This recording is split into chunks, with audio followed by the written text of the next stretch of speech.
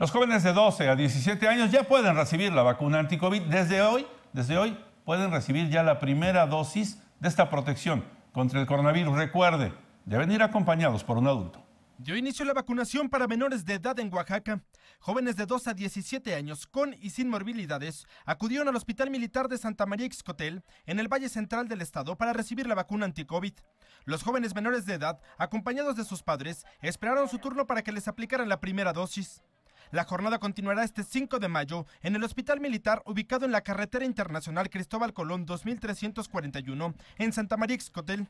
Cabe señalar que la dosis para esta jornada de vacunación a menores de edad es de la farmacéutica Pfizer. De igual manera se aplicará la primera dosis, segunda dosis y refuerzo a personas de 18 años en adelante. Para la aplicación del biótico es indispensable presentar el formato de vacunación que se puede descargar en www.vacuna.salud.gov.mx. Para las noticias, Franco Arteaga.